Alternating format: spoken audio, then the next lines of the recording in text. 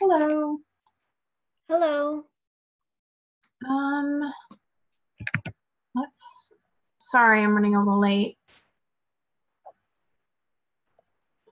Um, all right. So this week we were working on sections 3.1.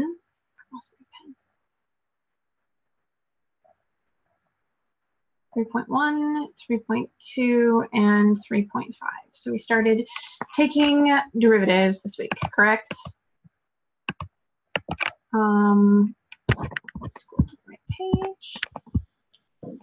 So yeah, um, a lot of what this week is is just kind of like powering through and like memorizing these rules and just like making sure that you're like just aware of like what all of the different rules are. Um, and a lot of the times, at least for me, um, it was mostly just practice to pick up the answers to what these problems would be. Um, so starting with 3.1, sorry, I'm gonna adjust my screen a little bit here. So starting with 3.1, um, and you can stop me anytime if you have any specific questions or um, if you want me to like go over something again. Um, and yeah, 3.1. Uh, so 3.1 addressed the polynomials, basically, so power rules, sum and difference type stuff. Um, and sum and difference is like pretty intuitive in that you can just like take the sum of the derivatives. Um, but the power rule sometimes it's a little bit more difficult. Um, so I would like to do number six, which looks a little something like this. Um, and then number 10, which looks like this.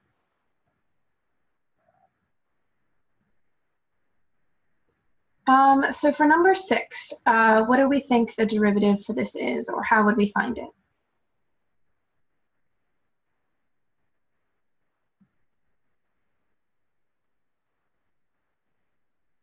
Any ideas?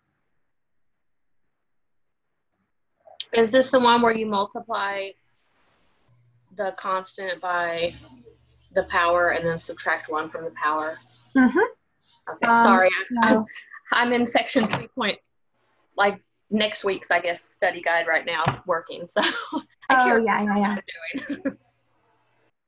So, yeah, this is like probably, if you're already looking ahead to next week, this might be a little old hat. Um, but we basically multiply it, the front part, by whatever the power is, and then this gets turned into 4 thirds minus 1. And when I have fractions, I just like to write 1 as a fraction. So 4 thirds minus 3 thirds. And so this becomes, this is what prime, um, 4 thirds x to the 1 third. So what about number 10? Um, what is the strategy for approaching number 10? I would rewrite it as a negative exponent first. Yes. And from here, we can treat it just like any other um, power rule. So this gets turned into negative 4x to the negative 4 minus 1. And the important part here is that this stay, it becomes more negative, right? Um, sometimes I'll accidentally turn this into like a negative 3 because I think I'm trying to like get closer to 0, but this actually is negative 5 now.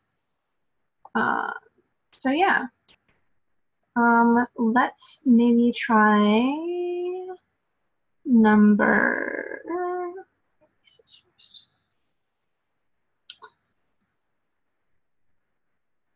Thought I put that one on the list. Let's also do number 28, maybe. So number 28 looks like this.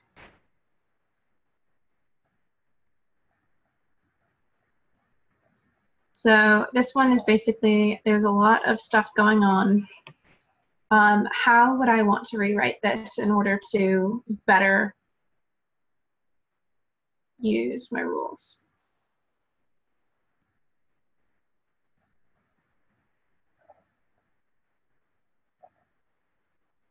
Well, this can probably stay the same. Um, what would this term be simplified in, in some way that I could use the power rule more easily? 12t to the negative 1 half. Exactly.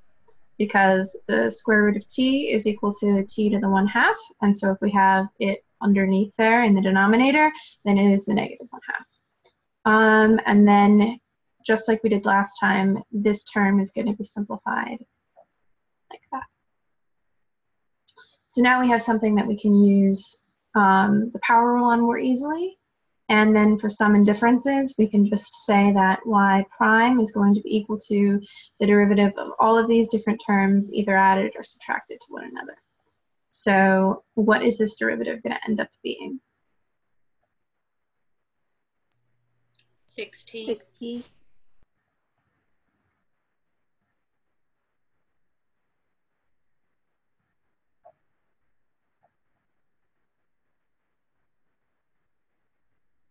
Sometimes it's a little bit harder to do in your head. So I'll write it out like this.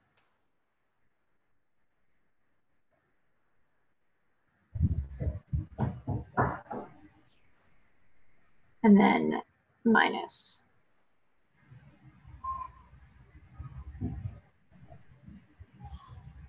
So this becomes 6t, and then this is minus 6t to the minus 3 halves, and then plus 4, plus, 4, plus 2, sorry, uh, t to the minus 3. Does that make sense? Yeah. All right. Um, does anyone have any questions about using the power rule? Or do we want to move on and try to do um, exponentials and logs and then trig functions?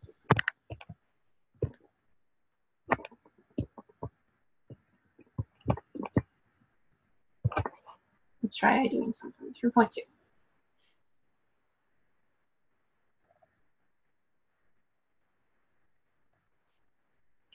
let's do, let's do two.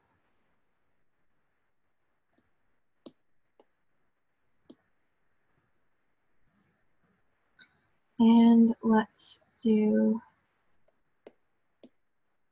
let's do right.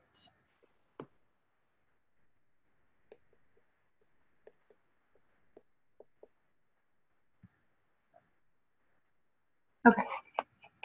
So for number two, um, what am I going to start doing? What is this going to look like?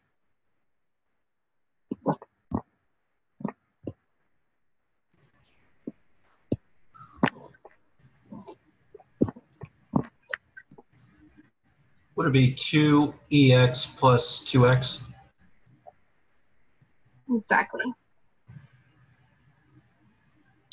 This is not going to change because we have e to the x um, and this coefficient up here is just 1. And then we're going to use the power rule for uh, x squared. What about number 8?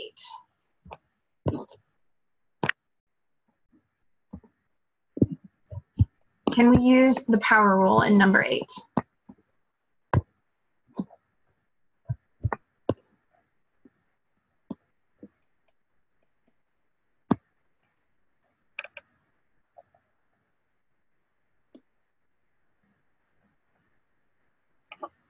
The important thing here, and I think we talked a little bit about this last week, is recognizing that this may be like a polynomial, but this is like an exponential function because my x is up here in the exponent spot. So, can we use the power rule here? The answer is no.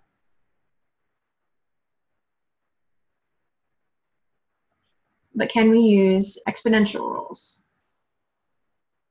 The answer is yes. So you can brute force memorize exactly what the rule is for this type of problem, um, which is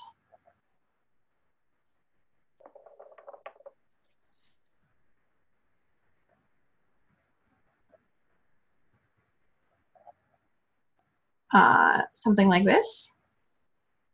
Um, and it relates to e to the x in that if a is equal to e, then ln e is equal to 1, right? So this would basically, sorry, I'm jumping into my solving area. This is basically saying that the derivative of e to the x is equal to 1 times e to the x, going by this rule here in the red. Um, so that is certainly one way to do it. Um, you could also rewrite all of these. Um, anything that's written in the form a to the x, if you remember earlier, can also be written in the form e to the kx, where a is equal to e to the k. So if you really wanted to, you could figure out, um, and you had a calculator, you could figure out what k was. Um, and k is going to be equal to ln a. So A is equal to E to the ln A, which also makes sense based upon our rules of like exponents and logs, right? Because e to the natural log of something is just going to be that something because the exponent, the e to the, and then the natural log is going to cancel out. Is everybody cool with me up to there? So that's kind of why this rule works. I always forget that this rule exists, and I always kind of like default down to a is equal to e to the k, uh, a to the x is equal to e to the kx, and then just have to prove to myself almost every time that um, my k is going to be ln a, but um, that might just be a me thing. But if everyone's good with that, um, what do we think the answer to this problem is going to be?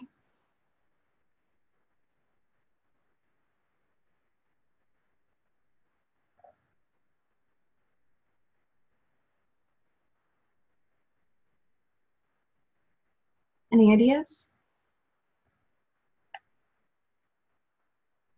Well, that will be the natural log of 2 times 2 to the x. And then we're going to add it to what?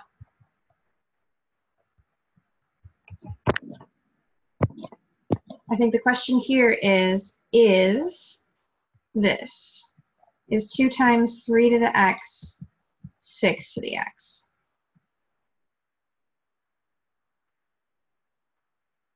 The answer to this is no. These are not the same. So when we're looking at something like this, we have to recognize that this is going to be like a constant. So this is going to be plus 2 times whatever the derivative of 3 to the x is. And using this exact same rule, it's going to be the natural log of 3 times 3 to the x. So our final answer is going to look something like this.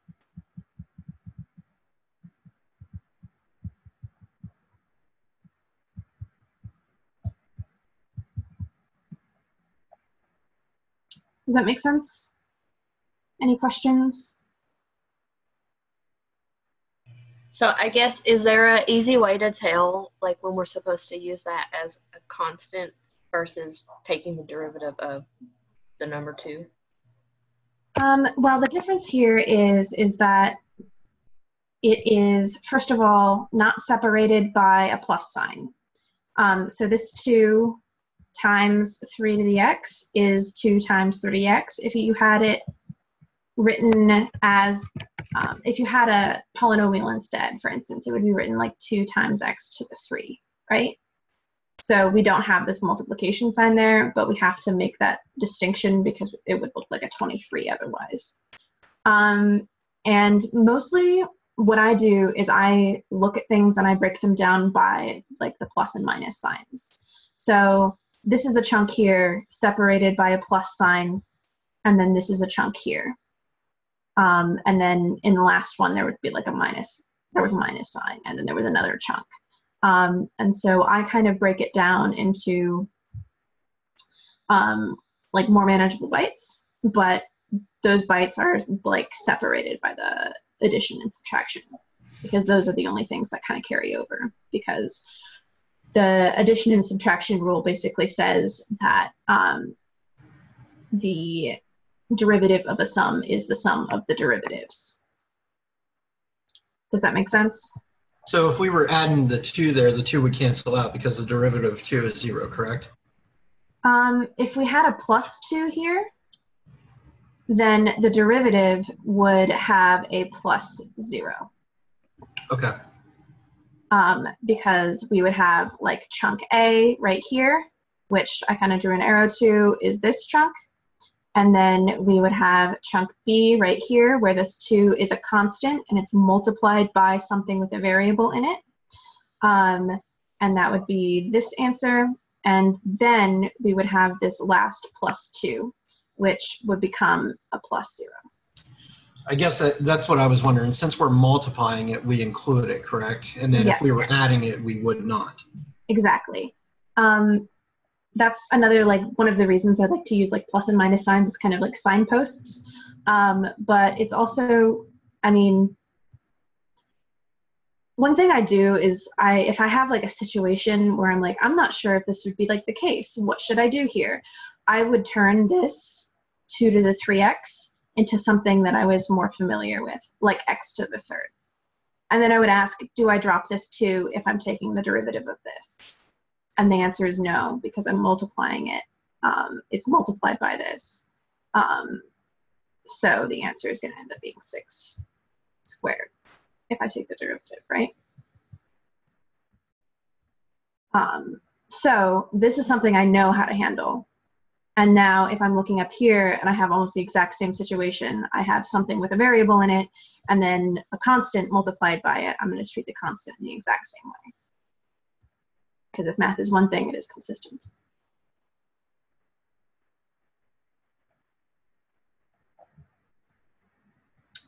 Uh, let's try another couple problems. Um, let's do, let's do number 14. And let's do 18.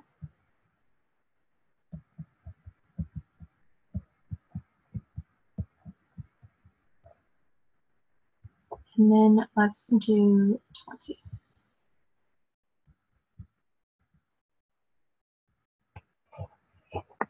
So for number 14, what are we thinking?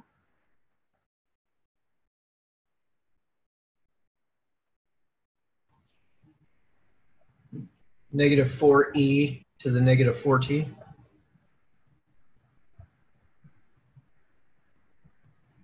Exactly. Um, perfect. One thing I'll just note is that this t didn't come down. It was only the constant that was attached to it. Um, so this isn't negative 4t e to the negative 4t. It's just negative 4 e to the negative 4t, which is just a mistake that I see some people make sometimes. Um, but precisely, exactly. What about number 18? Um, first of all, where have we seen this before? we saw this stuff all the time when we were thinking about um, like exponential functions and we were solving them with um, like natural logarithms and stuff like that. Um, so this is just like a familiar um, a to the t, p naught a to the t form essentially, if you remember. So what are we thinking here? What does p prime of t look like?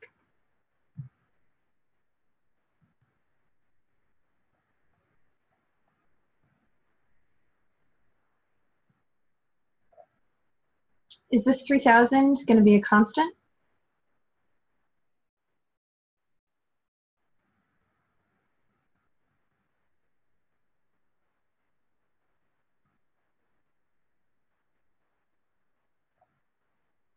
I would say no, Why do you say that? because you have to multiply it by the 1.02. No, um, this is like pretty much this the same like issue that we ran into last time, where we had like a multiple sign, multiplication sign there. Um, Gotcha. So it is a constant. it is a constant. Um, one of the again, like to signpost with those at addition and subtraction signs. This is the number just out in front here, and it's multiplied by this thing with the variable. Um, so one idea maybe to do is separate things into constants, which don't have a variable like actively like acting on them, versus this thing, which is to the power of t, an exponential function. Um, so this 3,000 is going to stay with us. And it's going to be multiplied by the derivative of 1.02 to the t. So what is this going to look like? What is the derivative of 1.02 to the t?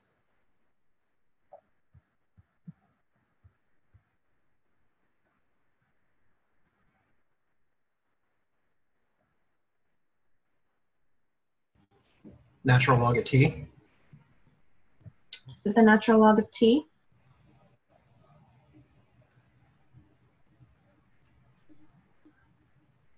We're going to be using that um, a to the x, uh, the derivative of a to the x is equal to natural log a times a to the x. Cool.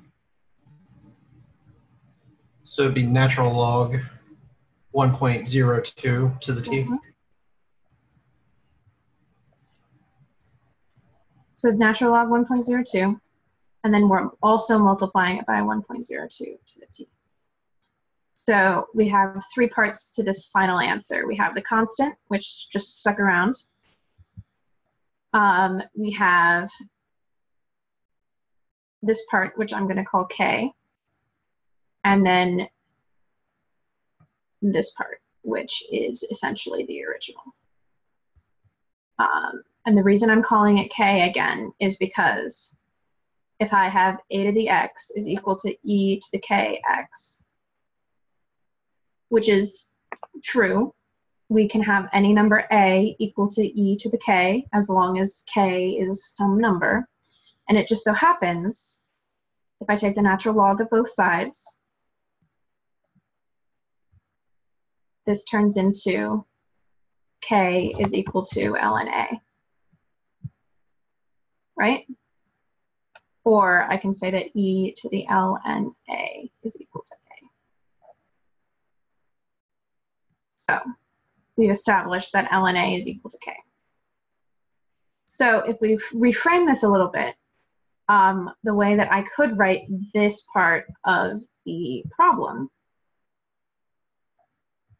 is I need to take the derivative of e to the natural log of 1.02 times t. And is that maybe an easier thing to solve?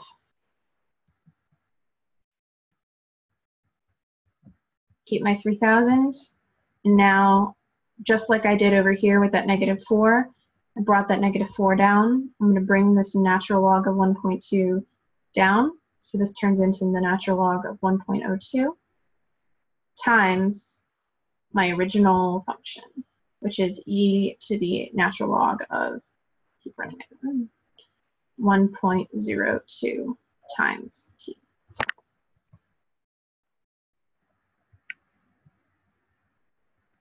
And as we said, this is equal to a, or rather 1.02.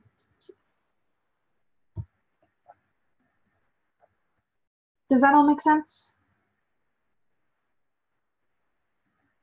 I know working with these types of exponential functions can be really weird, especially if you don't have a ton of like practice with them. Um, and the really weird ones are the ones that are not e, because then you get all sorts of wonky stuff happening. Um, so for me, at least, if I ever have something that is a to the t, a to the x or a to the t, I just turn it into e to the k because that's just easier for me to work with um, because I know how to deal with ease because it's exactly what we did over here.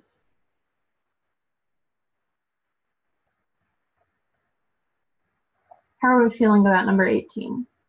Any other questions?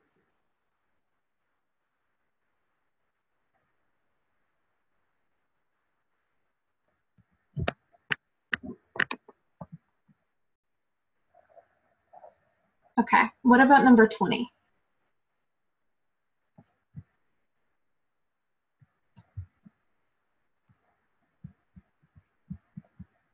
Is C a constant or is it going to get turned into a zero?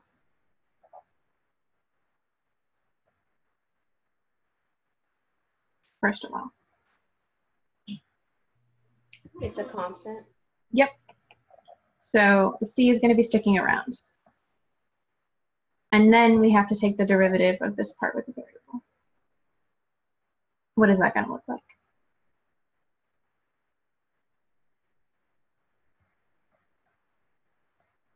Isn't that just e to the t? So in this case, our derivative is exactly like our original function. Um, and maybe this might help with the constant, just to like make sure that we're all on the same page with the constants. I think the official rule looks something like this. Um,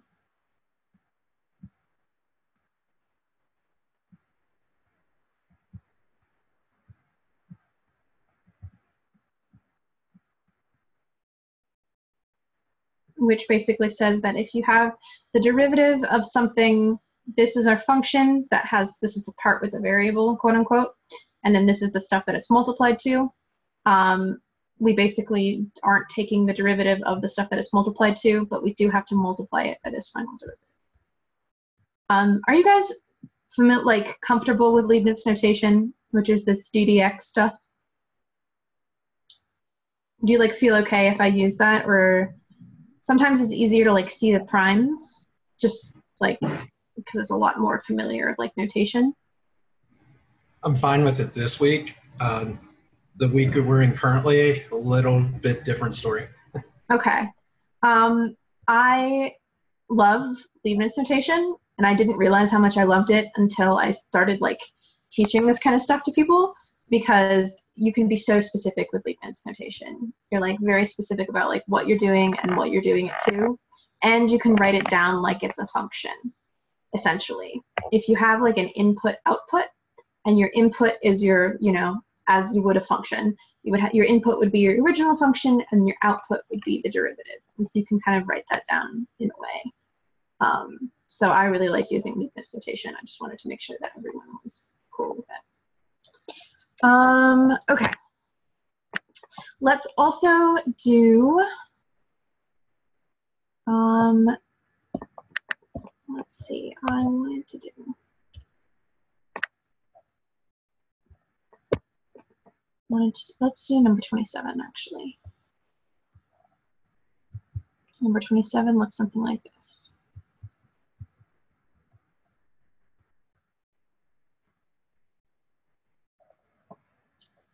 We have two parts to this. We have the exponential part and then the natural log part. Anyone have any ideas on what this derivative is going to look like?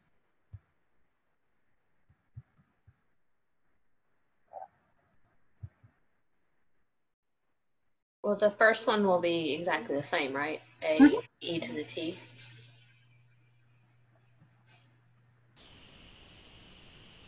Anyone remember what the natural log is?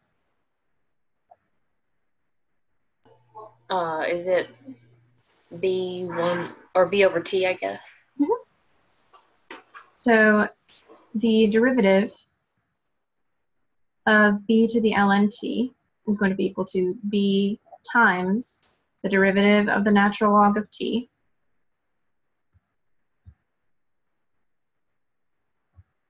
which is equal to b times 1 over t.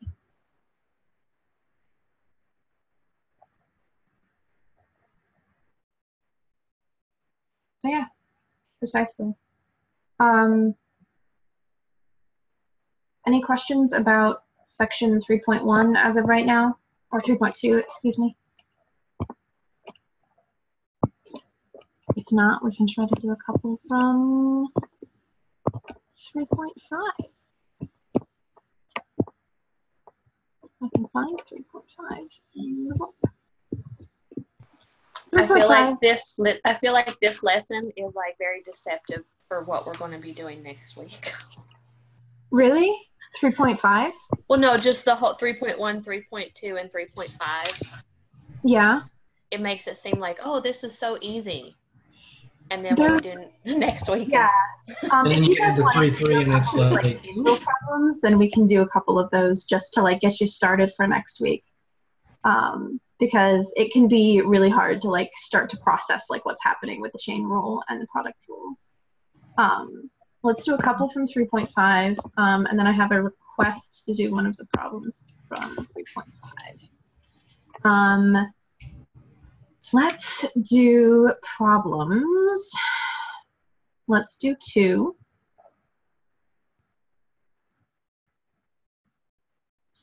Uh, let's do.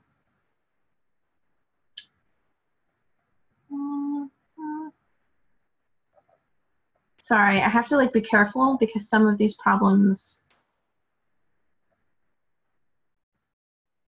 are chain rule problems. Which maybe we can talk about just a little bit in this. Let's do eight. For some reason, this is on my list of problems to do. Which this they introduce to you, I think, as like a this is how you take a rule of like a sine of something with something in it, just like they do with e to the k t. Um, but in reality, those are examples of the chain rule. So maybe we can kind of talk about like loop that in with what's happening with number eight. Um, and then we can do, let's just start with this for now. Um, for number two, y is equal to 5 sine x. What are we going to look at to solve this? Unfortunately, all of the trig functions have different rules that you need to just memorize for their derivatives. Um, does anyone remember what the rule for sine is? cosine.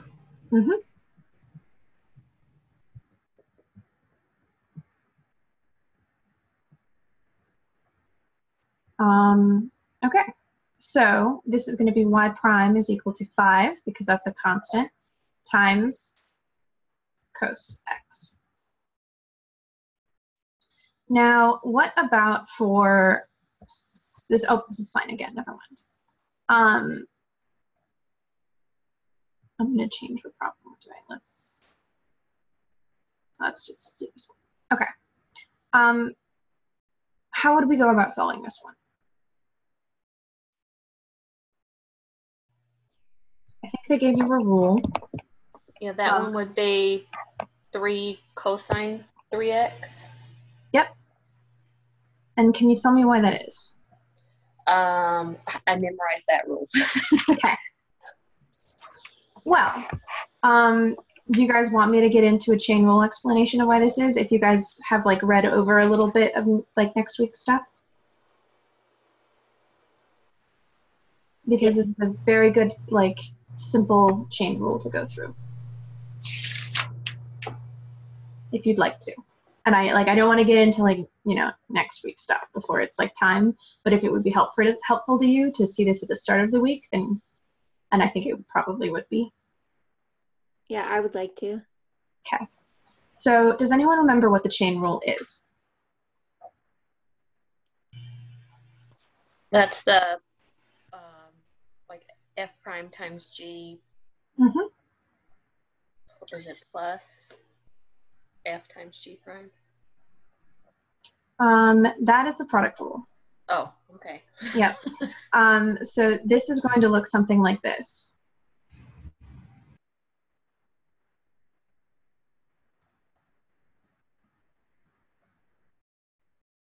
So basically, what we're saying here is we have a composite function. If you remember kind of going over those at the beginning, we have a function within a function. And in order to take the derivative of it, we need to take the derivative of the outer function and um, then the derivative of the inner function.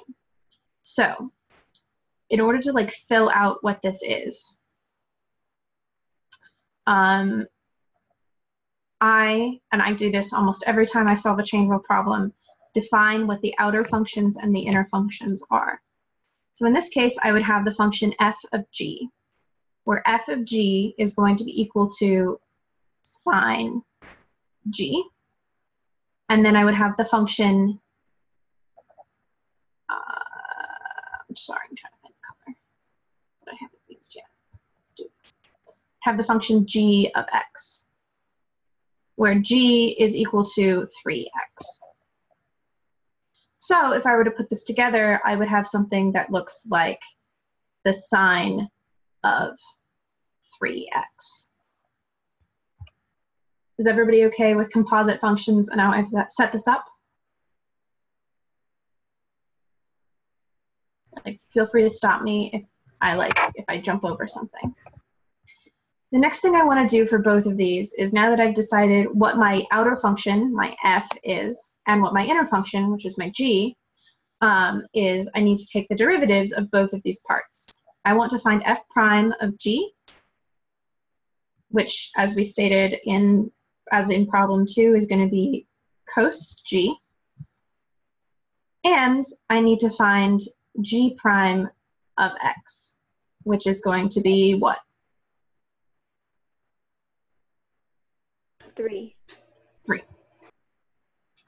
So now I can put these pieces together. Um, I need to, in order to get this derivative, I need f prime of g of x times g prime of x.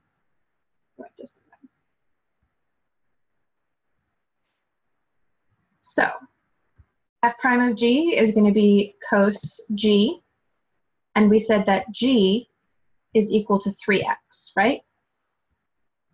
So we have cos 3x times g prime of x, which is 3. So our final answer is going to be f prime of x is equal to 3 times cos 3x. So they kind of gave it to you as a rule, but it is like this is the chain rule. And if you ever forget what the rule is, then you can always use the chain rule and say, what is my outer function? In this case, it's going to be sine of something. And then my inner function is that something, which is the 3x. Does that make sense in terms of using the chain rule to solve this problem? Yes. Yeah. Awesome. Um, it is the same deal if you have something that looks like this. Um, if I had, let's do the exact same one we had before. We had e to the negative 4x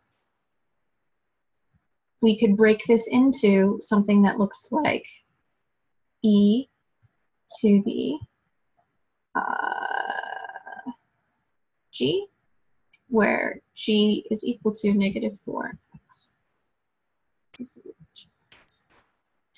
So really all this is, is doing a lot of definitions, like I'm calling this something else, um, in order to be able to work with it more easily. So that is essentially what's happening here. Um, and I always, whenever I have like a chain rule problem, break it down into what is my outer function, this is my f, what is my inner function, this is my g. Um, I need to fit these together in a certain way. Um, I need to find f prime, I need to find g prime in order to do that. Okay, um, let's make sure we do number 25 because I got a request for number 25. Unless anyone has questions about the chain rule stuff that we just kind of discussed.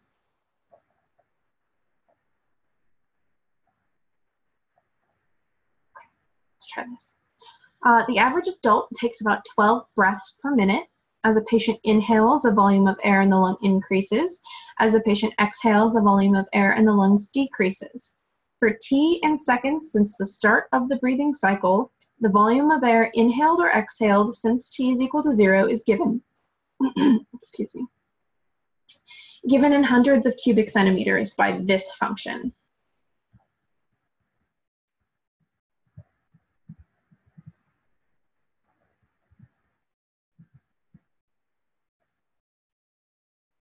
How long is one breathing cycle?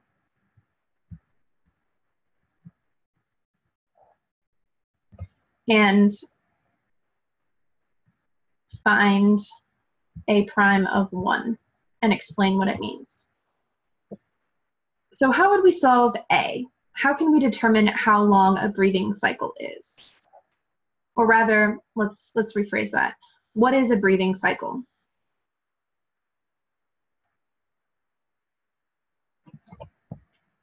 If I were to think about what the graph of this looks like,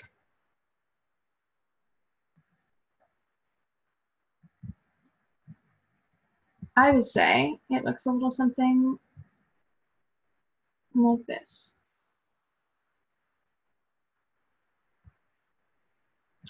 And I would also say that because I'm looking at a cosine, this is one period from where I start to where I end. And that is what we're going to call one cycle.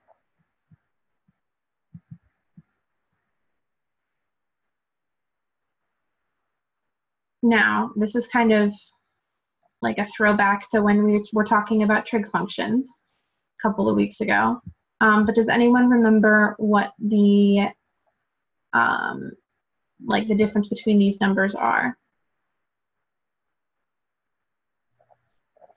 Like Uh, the amplitude, the period, and then I forget what the other one's called, but it's the shift. yeah, it's the vertical shift. Yeah. So I drew this a little incorrectly. I would actually need to draw it something like this. Or maybe, well, probably like this because there's not going to be any like negative um, volume, right? The idea is that there's always something, some air in your lungs, so it's not going to be like a negative, which is why this vertical shift is here. Um, but that's not what we care about right now. What we care about is the period, which is given to us by B. Now, what is the relationship of B and the period?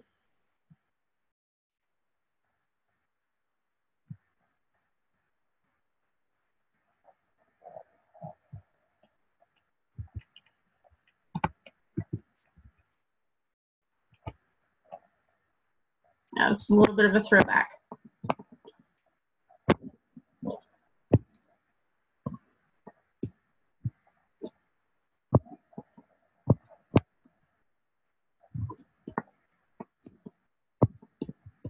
So,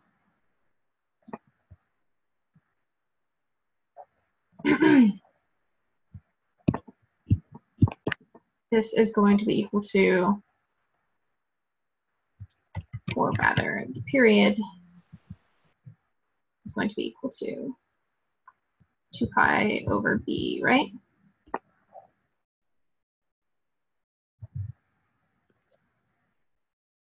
I that is the case. 2 pi over b. So my period is going to be equal to 2 pi divided by 2 pi times 5. These are going to cancel out. And my one cycle, my period, five units, which in this case are seconds. So this was less about finding a derivative and more about using a um, like a periodic function. This is a bit of throwback to like what was it, 1.10. Um, so we got that. Now the question is, we need to find its derivative. Anyone have any ideas on what this derivative is going to look like? Well, one thing that we can do is break it down. if we have something that looks like a to the t equals negative 2 cos g plus 2, where g of t, so this is actually, we're going to call that a to the g, g of t is equal to 2 pi over 5t. Then what is a prime of g?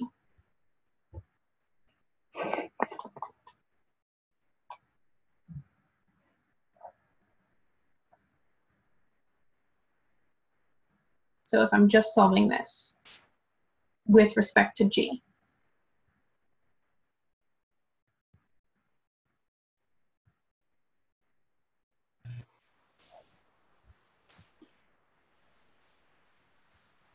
Would, would it be 2 cosine g?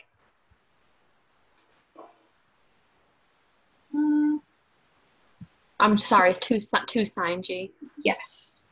The 2 is definitely staying. It's no longer negative. You got that? Sine g. And then this 2 gets turned into a plus 0. So we can just drop it. Now what about g of t? G prime of t is going to be equal to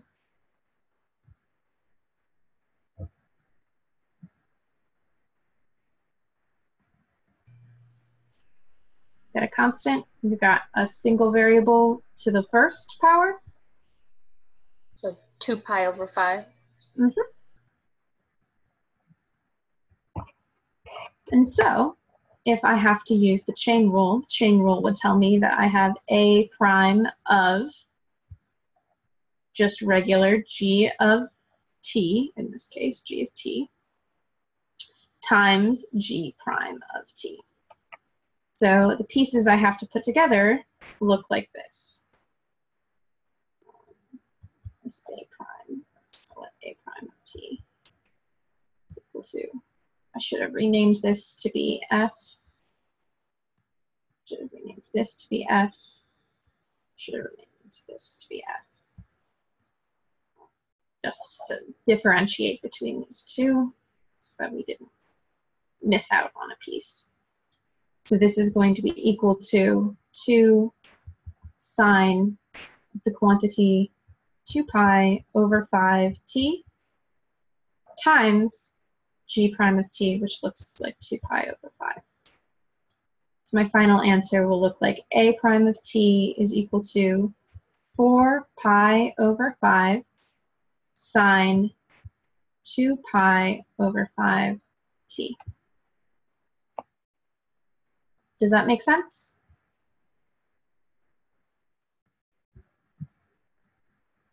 Okay. So the question was not just asking us to find the derivative. Question was asking us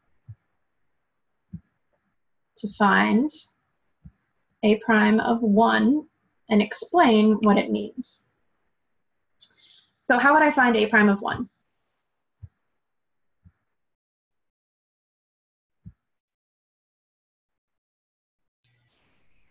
You would plug one in for the t. Mm-hmm.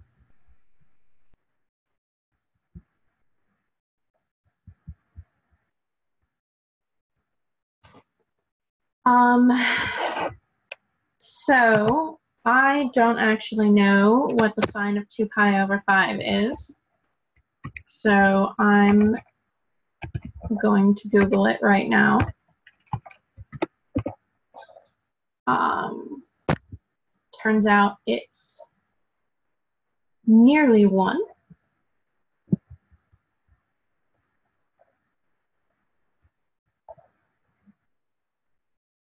Um, and now I'm going to multiply it by 4 pi divided by 5.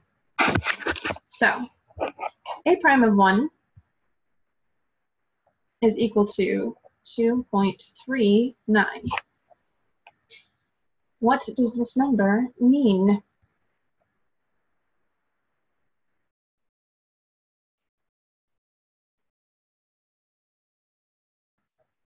What does the one mean?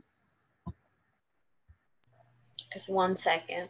hmm So we're looking specifically at the time.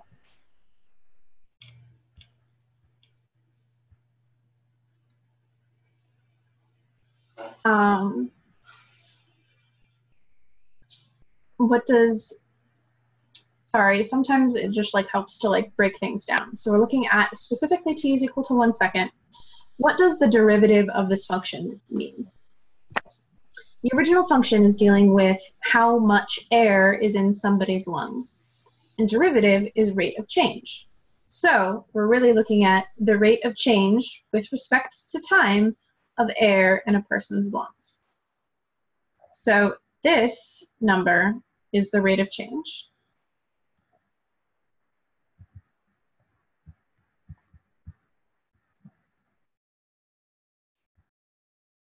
This number is positive, which mm-hmm. indicates mm-hmm. that as time goes on, the air is increasing. That tells me that I screwed something up up here. What did I miss when I was sketching out this graph? The negative in front of the two. Exactly. My graph is actually going to look something like this.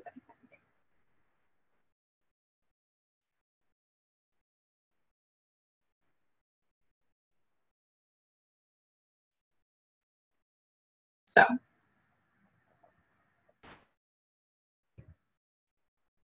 I fixed the fact that I missed this negative sign. And I know that as T goes on, the air is increasing in the lungs. And that's what A prime of 1 means.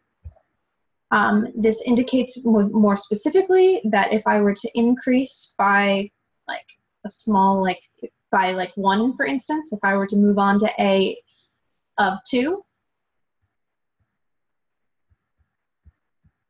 A of 2 is approximately equal to A of 1 plus 2.39.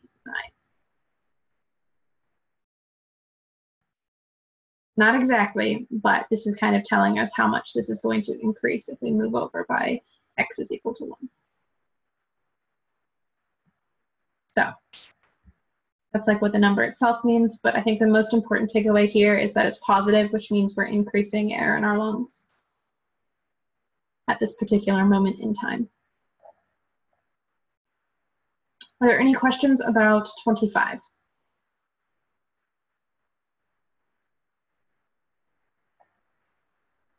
there any questions about anything in 3.5, 3.2, or 3.1?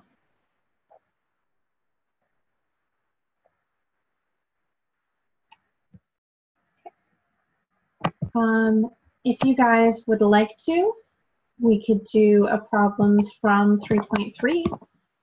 Um, obviously, it's a little bit jumping the gun, but if that would help you guys as you're kind of doing this week's work in 3.3, then we could totally do a little bit of that.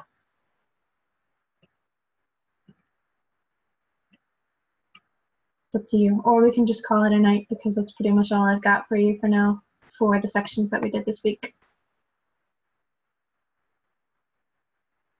3.3 would be good. Sweet. All right. Um, let me check. I have a list of problems that are good to do. Let me look at them real quick. Okay. Um, let's start with number. We're in 3.3. Let's start with number six. Which looks something like this.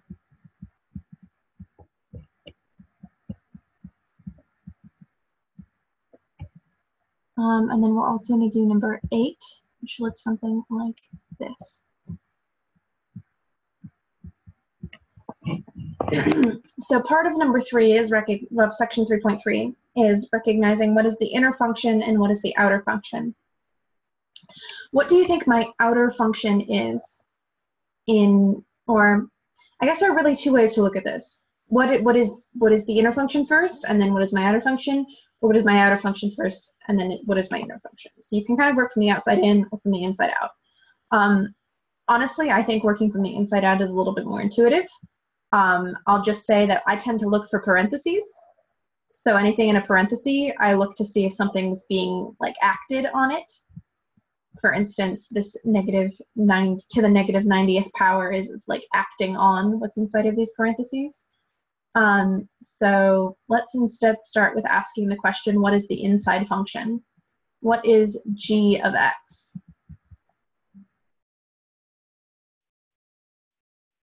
And then we'll call our outside function h of x. And we'll say that uh, in this case, I have to switch up the variables because I got an f of x here, but we'll say that f prime of x is equal to h prime of g of x times g prime of x.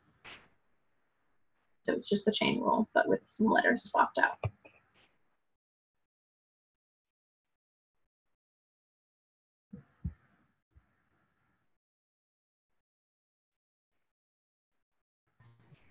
So your inside function would be x to the third plus x to the second. hmm And then what variable would you use for the outside function? I tend X. to, you're right. I do tend to write it like this as a G instead of an X. Just because for me that makes it very clear what I'm substituting in. So I would call this G to the negative 90. And then it also tells me explicitly this is a G and this is the same G. So step two, I need to find what these derivatives are. What is the derivative of g to the negative 90? Negative 90g to the negative 91st power. Mm-hmm. What about the derivative of g of x? 3x to the second plus 2x. Awesome. So now I need to put these two pieces together. I need to put them together in a very specific way. I need h prime, which I know is going to be this chunk here. So negative 90 g to the negative 91. This is my original g, not my g prime right now. And now I have to multiply it by g prime, which is this.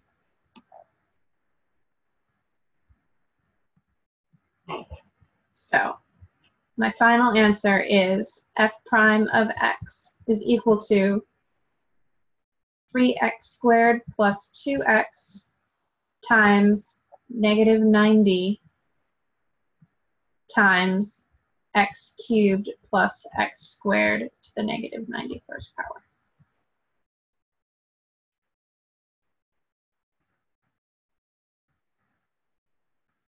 Does that make sense to everybody?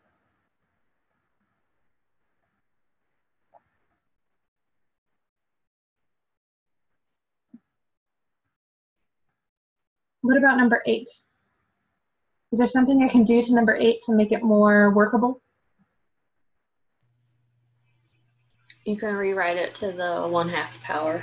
Mm-hmm.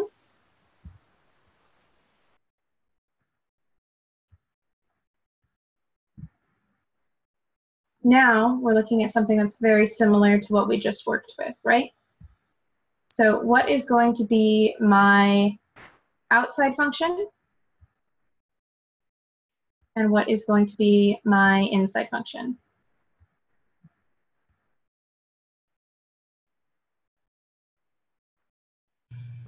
Well, the inside would be what's in the parentheses.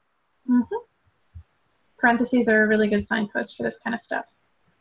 So my outside function would be what? I have g. To the, The one one half. So what is my f prime of g?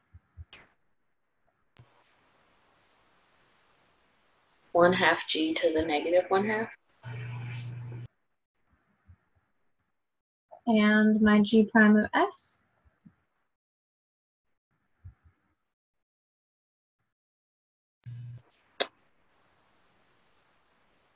3s squared. Mm-hmm. So with these pieces, I can build my final answer. And what is that going to look like?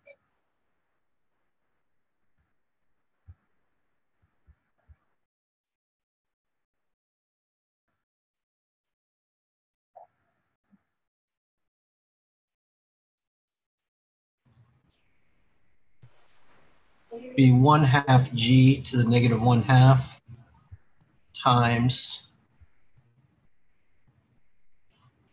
five to, is that s or five? That's s to the third plus one. It's actually this s to the third plus one is going to be this g, and Yep. then g prime is what we need to multiply it by. But basically, yeah. So our final answer is going to be y prime is equal to 3s squared over 2 times s cubed plus 1 to the negative 1 half. Or I could write this as like a radical in the denominator, or, you know, there's a bunch of different ways to write this, but this would be a perfectly acceptable answer. And I'm sorry, my s's do look like fives. Okay, um, let's try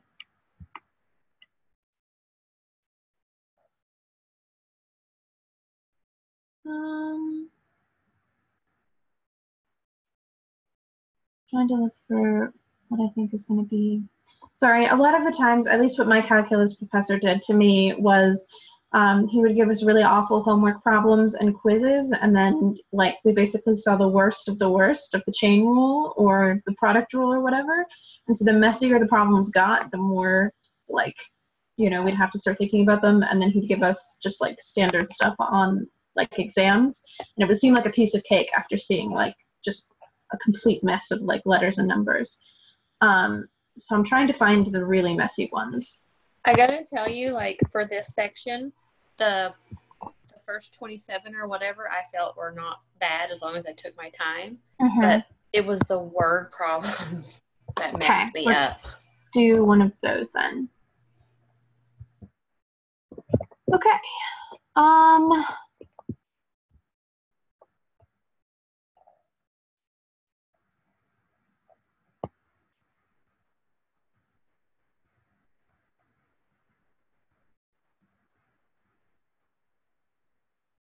maybe 37 do you think 37 would be a good problem to do Yes, I have a big question mark beside that one when I was trying to do it earlier. Okay. So 37 says that the distance s of a moving body, and I'm actually going to rewrite that as x because as we just decided, my s's look like fives, and I'm just ne- that's not going to be something that's fixable, I guess. Um, so the distance x of a moving body from a fixed point is given as a function of time by the function x is equal to 20 e to the t over 2. So this is a function x of t. Um, so find the velocity v of that body as a function of t. So this question is very much banking on you understanding something that physicists are taught very like like basic physics um, very early on. Um, and I don't know if they actually explicitly said this in your book. Um, but there's a relationship between distance, and I'm going to draw it actually over here. There was a relationship um, between distance slash position, velocity, and acceleration. I can't spell. Um, and that that is that velocity is the derivative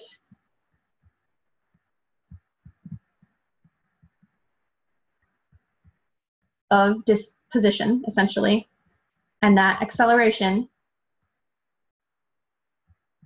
is the derivative of velocity. And at some point in time during this class, we'll learn about integration, which is basically backwards derivation. Like if you add something, you can subtract it. If you take the derivative of something, you can basically untake the derivative of it. Um, but we're not going to worry about that for right now. Right now, we just need to know that, for instance, a of t is equal to the derivative of velocity with respect to time, which is equal to the derivative of position twice with respect to time. And velocity is equal to the derivative of position. So now that we know all of that, um, which is something that they should probably have told you before you started doing this problem, um, and this is something that will come up, just velocity and position and their relation, um, because math and physics kind of go hand in hand.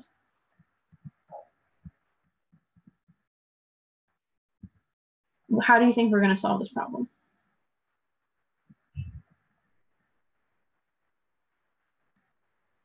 We are just going to take the derivative of this with respect to t.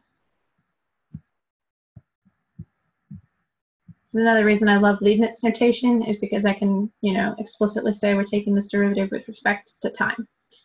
Um, so dx dt is equal to the derivative of this part here. And what is the derivative with respect to time of 20e to the t over 2? Is there a way that we could maybe rewrite that? That would make it a little bit easier to work with?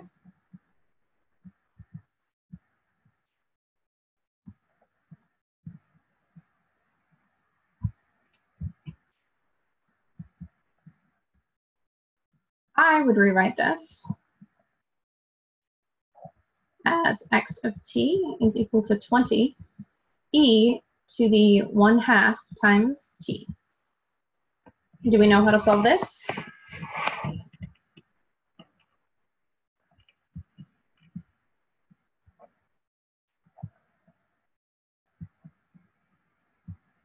How to get that derivative?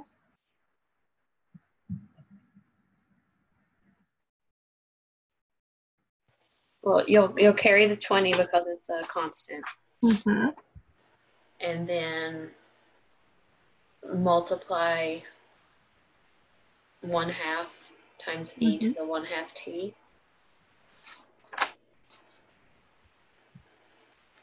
So dx dt is equal to 10 e to the t over 2 right? And as we just set up here, this is equal to v of t. So the derivative of this distance or position is the velocity. And that kind of does make sense in that if we're like, if you think of a car moving from point A to point B, we can like graph that like, distance on a, on a graph and how fast that car is going from point A to point B could be like the slope of that graph. Um, and that slope would indicate how fast they were going. So a steeper slope means they're getting there faster. So that's kind of the relationship between here. Does that kind of make sense? There wasn't a lot of like chain rule going on here, but there is a lot of like loaded language that may not be fully explained in the section.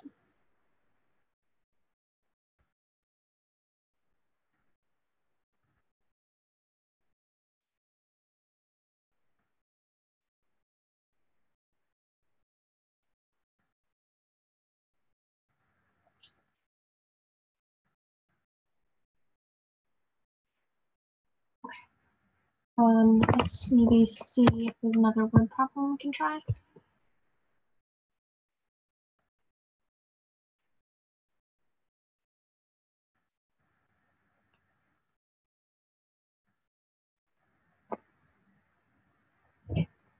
Um, is there another word problem that you have a question mark by, maybe?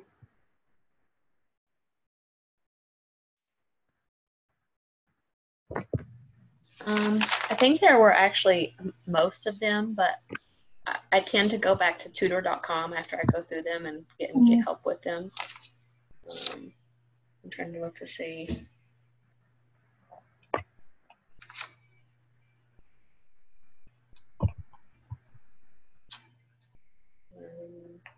Had some issues on the ones with the graphs, but I think it's just because I'm not estimating the points they're asking for correctly. Yeah, I like always am super hesitant to like throw up a graph on like Zoom because I always like horribly misrepresent the graph yeah. and it's really hard to estimate.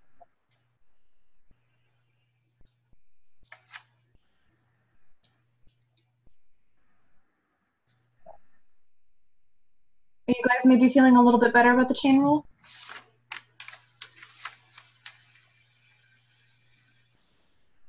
You're perfectly within your rights to say no. Let's do some more practice.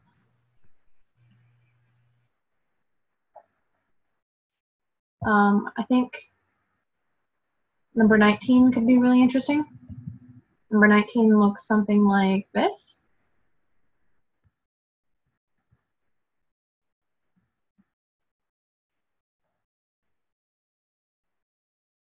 What do you guys think the inner function would be?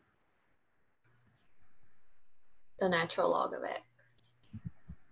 And what is the derivative of the natural log of x? 1 over x. And what about the outer function? The natural log of oh, whatever variable we use for that. Yeah, we'll call it g. Okay.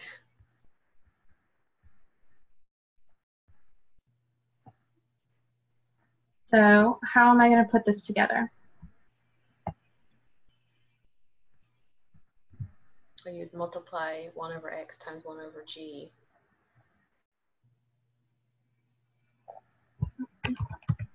So this is 1 over, yeah, 1 over g is going to be 1 over ln x times 1 over x.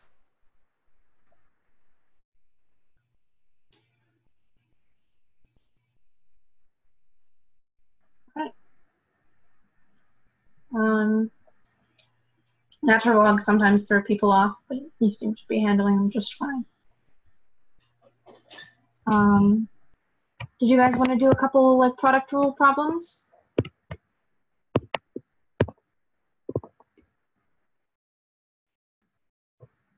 Again, this is like working ahead a little bit, but if it would help you to do them now, then we can totally do that.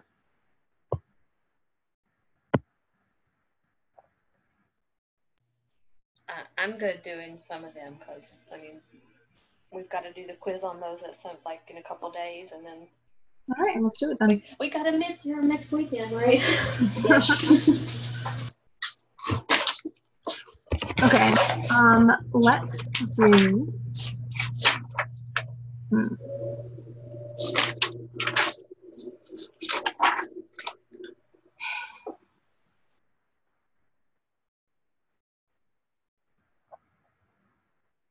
Sorry, I'm trying to find a couple of good ones. Um, let's do number five.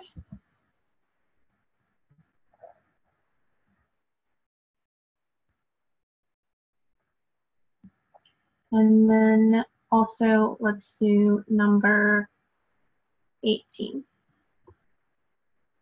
I think we should start with number 18 actually.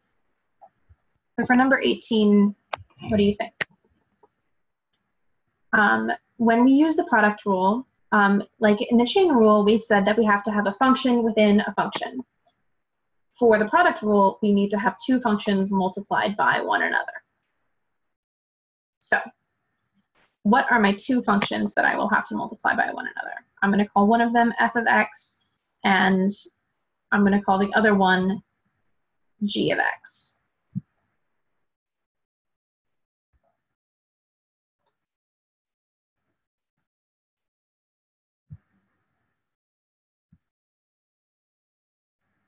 Any ideas what these two functions are going to be? one would be x and one would be 2 to the x.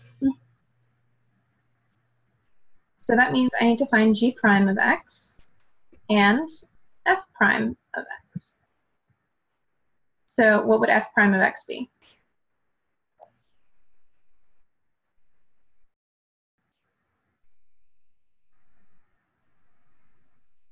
at 1. Okay. And g prime of x?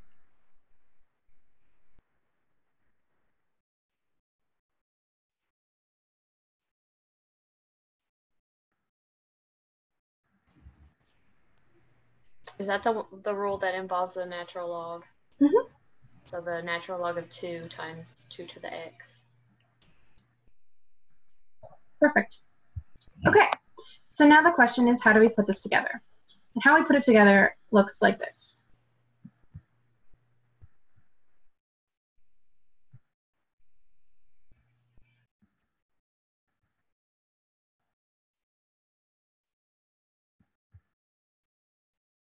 Something like that. So we have all of the pieces now. We have f prime of x, which is 1, which gets multiplied by g of x, which is 2 to the x, plus g prime of x, which is the natural log of 2 times 2 to the x, times f of x, which is going to be x. My final answer, y prime, is going to be equal to 2 to the x plus x ln 2, actually I'm going to rewrite that. Yeah, that's fine. x ln 2 times 2 to the x.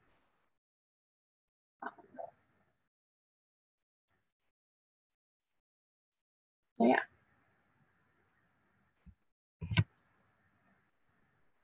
Any questions about that one?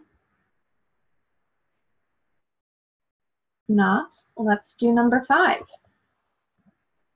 So for number five, in order to do the product rule, um, we are going to have to identify what the two functions are that we are multiplying. Got a three there. So what two functions are we multiplying?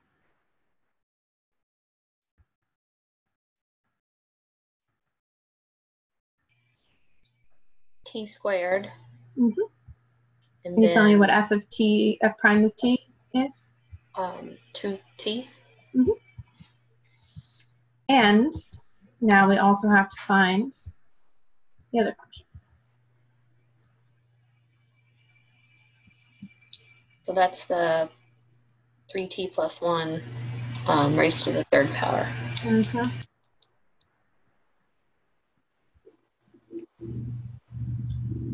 And g prime of t. So I, I just did this problem a couple of hours ago. Oh yeah. So I, I, I think that one, I'm trying to read over my, my scribbles here. Um, nine times 3t plus 1 raised to the second power. Because I, I broke that up using the chain rule. I don't know Mhm. if that was the right way to do it or not, but That's that's, exactly what what I you did. to do. I'm actually going to write the whole chain rule out just because we're doing the section on chain rules right now. Um, but the important thing about this problem is that we have the chain rule. We need to use the chain rule to solve the product, the, the problem using the product rule. Because we've broken it down into these two multipliable chunks, but in order to get the derivative of one of those chunks, we need to employ the chain rule, which in this case, I'm going to say the outer function, which is going to be, uh, call it h of j, is equal to j to the third.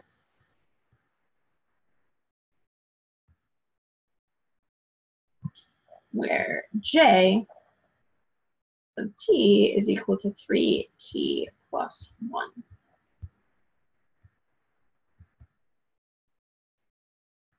And we drop the t, because it's the first one, so this is just going to be the derivative of 3t, which is 3, and then we drop the plus 1 because it turns into 0. So we can put this together such that 3 times 3t plus 1 squared times 3. And as you said, this is equal to 9 3t plus 1 squared. So now we have all of the pieces that we need to solve it using the product rule. We had to use the chain rule to get there.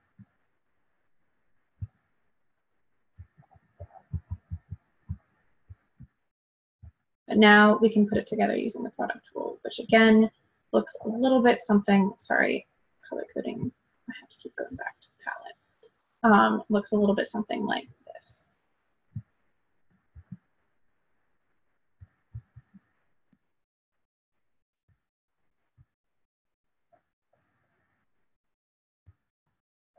So f prime of t we said is 2t times g of t, which is 3t plus 1 to the third, plus g prime of t, which is 9 times 3t plus 1 to the second, times f of t, which is t squared. So we can simplify this all out and say that y prime is equal to 2t, 3t plus 1 cubed, plus 9t squared, 3t plus 1 squared. And that is how you solve that problem.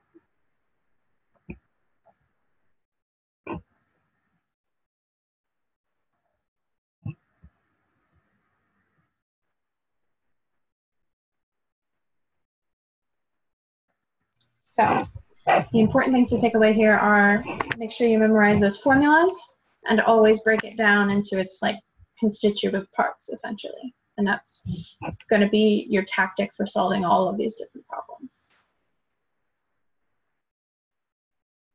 Any questions on how that got solved?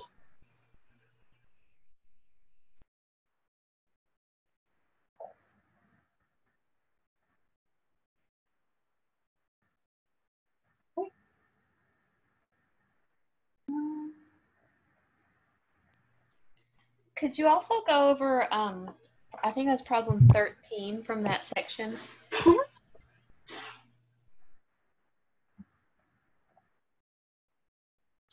Problem 13, um, is it f of x is equal to x squared plus 3 over x? Yes, that one. Um, so what rule do you think we're going to use to solve this problem? Um, well, this is the quotient rule, Mhm. right? Um, So what are our constitutive parts? What is being derived, or not derived, what is being divided by what?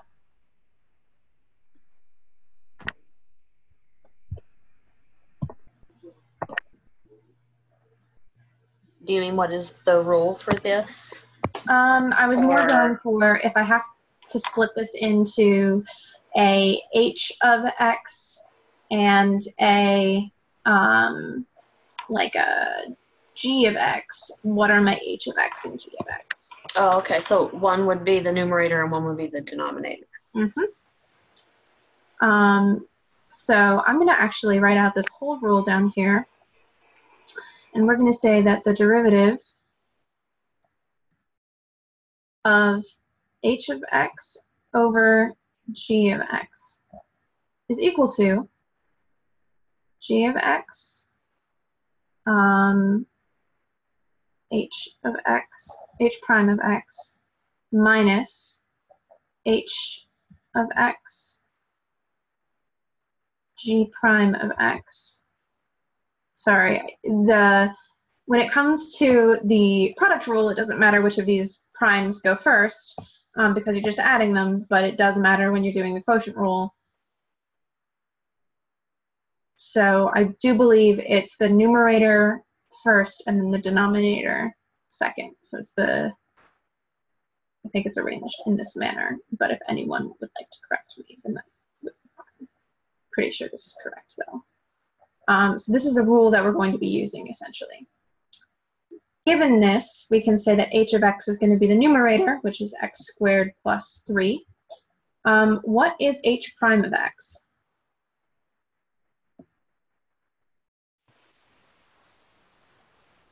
Two x. Mhm. So also given this, we have our denominator, which is going to be x, and g prime of x, as we said in the last problem, going to be 1. So now we get to put all of this together and say that the derivative, which we'll call f prime of x, is equal to h prime g minus g prime. I'm taking out the of x's here just for convenience's sake. h all over g squared. So h prime is 2x times g of x, which is x, minus g prime, which is 1, times h, which is x squared plus 3, all over g squared. And so g of x is x, so this is going to turn out to be x squared. So now in order to simplify it, we're going to write this out as 2x squared minus x squared minus 3 over x squared. Or 2x squared minus x squared is going to be x squared, right? Minus 3 over x squared. And this is what our answer is going to be. Okay, I guess I probably need to look at the textbook errors for this one because that's the answer I got, but that's not the answer listed in the back of the book. So that, maybe that's where my confusion was coming from. Here, actually, we'll just pull Wolfram Alpha. Um, that should be right, but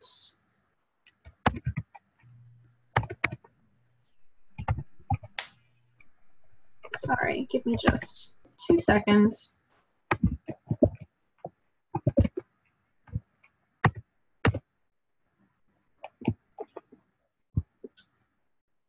Um, okay, so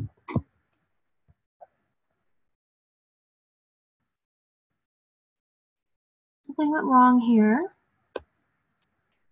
This is not what the derivative is. No, it is. It is. What was the book? The answer in the back of the book. The answer in the back of the book says um, 1 minus 3 over x squared. That is also the answer that Wolfram Alpha gave me. Um, now the question is, are these the same? The answer is yes. Because if I were to take this and split it up and say that this is x squared over x squared minus 3 over x squared, which is something that I can do, because it's the same uh, denominator, this would turn into 1 minus 3 over x squared. Okay. It seems like for some of these answers, they simplify it down further, and for some they don't, and I guess I just don't know. Yeah, it's really hard to gauge what exactly they want from you. Um, on like a multiple choice exam that's also it can be really rough um, mm-hmm. because you have to like get it in the exact form that they want like do they want a radical in the denominator or can you just say to the negative one half and that's you know not ideal um, but yeah a lot of the times it's just twisting it to be in the form that want, they want it to be in so you you were right this whole time it was just well i think i was probably not reading it correctly. Um, as I, I don't know why, but the way in the book, even though there's no parentheses, I was taking it as the numerator was 1 over 3 and the denominator was x squared, mm, which yeah. was confusing me even more. So, um, but yeah, if you think that the book has a wrong answer, um, if it's just like find a derivative, you can always plug it into Wolfram Alpha and they'll spit out the derivative for you. Um, I think you have to subscribe to get the step by step solution, but just to check to make sure the book is working okay, then Wolfram Alpha is a good bet. Okay. okay. Any other questions?